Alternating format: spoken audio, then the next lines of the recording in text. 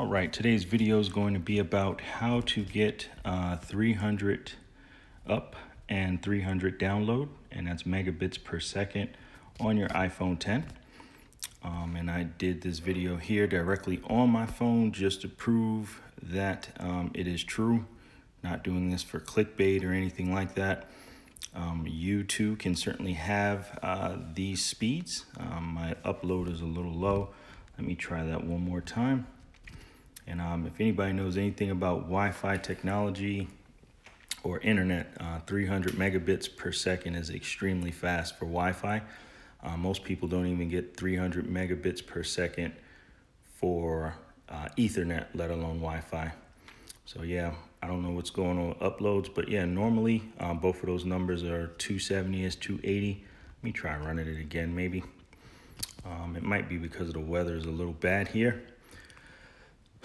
but we'll certainly give it a shot.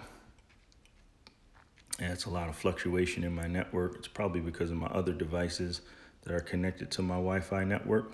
But yeah, the best way to obtain uh, those blazing fast speeds, I see a lot of people complaining online saying uh, they have very poor Wi-Fi or whatever, whatever. Um, the simple uh, solution to it is um, pay for a better internet plan. I mean, theoretically, you got to pay for speeds. You know, in this world, people want uh, things for free, and that's just not realistic.